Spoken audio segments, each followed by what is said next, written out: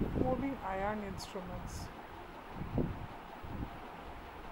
The moving iron instruments can be used as a voltmeter or an ammeter. This instrument is used as an ammeter. It has less number of thick wire turns. It is used as a voltmeter. It has more thick wire turns.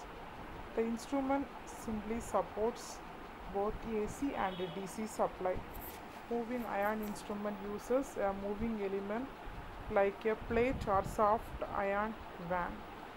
The vane is arranged in such a way it moves freely within a magnetic field of the inactive coil.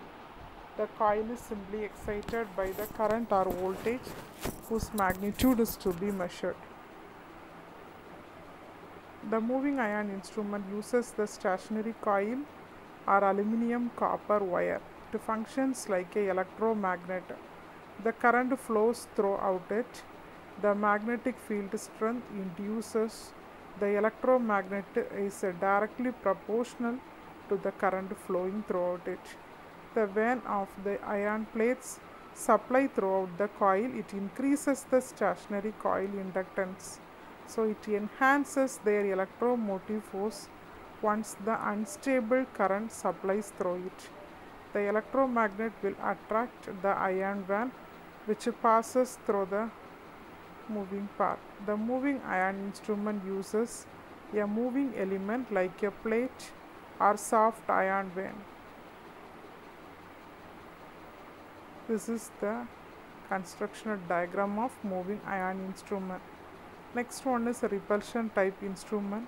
It includes two vanes, otherwise iron plate, where one vane is permanent and another vane is movable. In this type of instrument, the fixed vane is connected to the coil and the movable vane is placed on the spindle.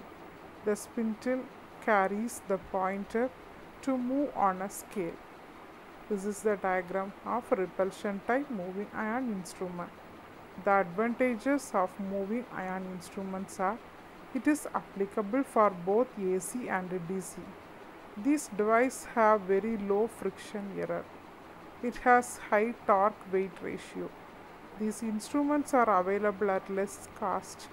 It has less number of coil turns compared to other instruments. It is very simple in construction. It can resist overload for a moment.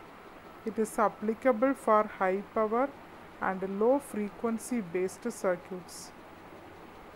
Disadvantages The scale is not uniform. The power utilization is high. Change within frequency can cause very serious error in measurements. The instrument is non-directional. It is accuracy is low. Power consumption is high. Where we are using a moving iron instrument is it is used in ammeter, voltmeter, wattmeter. It is used for measuring alternating current and voltages. It is used as a power frequencies within laboratories. It is used in switchboards and labs. Thank you.